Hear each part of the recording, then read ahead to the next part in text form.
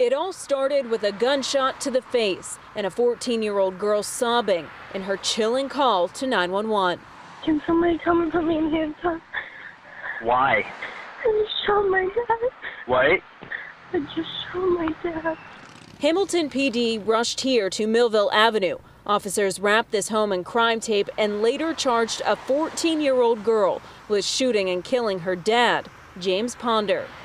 Parents along this stretch of road could hardly believe the details. I just hope the girl's okay. I hope the family is okay and they come together as a family and that people will be there for them because nobody knows the situation. Some of the kids who ride the bus with the suspect drove past the crime scene this morning and couldn't help but wonder what happened. I don't understand how it happened, so maybe how it happened provoked her to do it.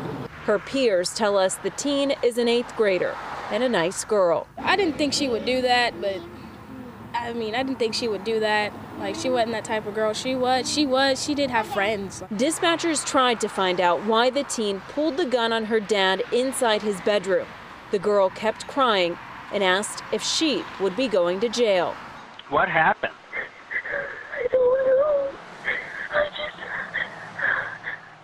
just. You don't know what happened? him. You just shot him? I've been. What? I, I don't know. And tonight, police aren't releasing any further details on this case. The teen is locked up in the Butler County Juvenile Detention Center. She is scheduled to be in court tomorrow morning. Reporting live in Hamilton tonight, Amanda Kelly, WLWT News 5.